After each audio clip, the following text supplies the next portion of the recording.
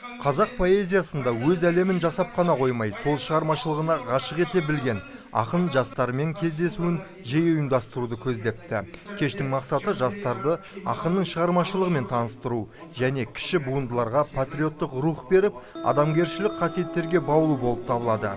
Қасымхан бегмановтың тұңғыш жыр жинағы 1980 жылы жарық көрген. Оның көптеген шығармаларын мектеп қабырғасында жүргендер беске біледі. Сондай ақ қазақ эстрада жұлдыздары да біраз әндерін шырқап та жүр. Ақын ағамыз бүкіл өмірін жазушылыққа сарп етсе де ахмет байтұрсыновтың жолын қуғысы келетіндігін айтты. Қазақты ұмытуға біздің хақымыз жоқ. Мен ахмет байтұрсыновтың да жолымен жүргім келген. Ахаңды да біз жеріне жеткізіп түбегейлі зерттеп болған жоқпыз. Ақын 18 кітап жазды. 18-ші кітабы 18-ші кітабы.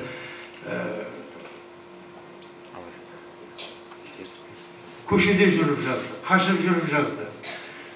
Оның барлығы біз әлі күнге дейін сол ахаңның алфавитімен оқып келе жатырмыз ахмет байтұрсыновтың. Ахаң қазақтың жиырма үш жоқтауын жинап берді. Мен сұраймын ғой ағаларымнан жаңағы. Айгүл смақова деген досым бар құрдасым.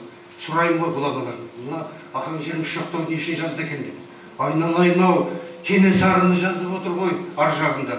Айналайын ау ана ауылдағы әйелдердің біздің ана шалдарды күйеуін басқасын жоқтағанда ар жағында біз мынау хан кенені жоқтасын деп отыр.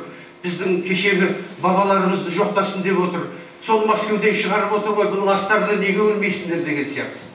Біз ахмет байтұрсыновтың жиырма үш жоқтауын оқимыз да е дұрыс екен дейміз неге мәскеуден шығарды қалай шығарды оны деген сұрақтар өте көп. Елге белгілі ақындарды қарапайым халықпен жүздестіріп шығармашылық насихаттауды мақсат еткен шымкент қалалық мәдениет басқармасының өкілдері жастардың шығармашылыққа деген сезімін оятуды көздепті.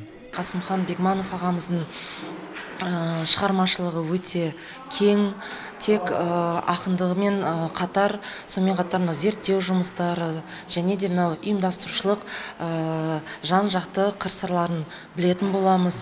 Өйткені ол кісі мынау республикаға танымал ұлттық этнографиялық дәстүр журналының бас редакторы. Сіздер білесіздер бұл журнал мына әдебиет пен мәдениет саласындағы белгілі бір нысана десек те болады.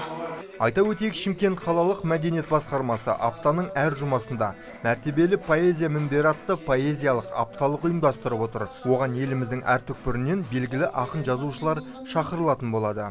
Нұрлан пайызов ержан сейдазимов нұрлан бексаитов нар ньюс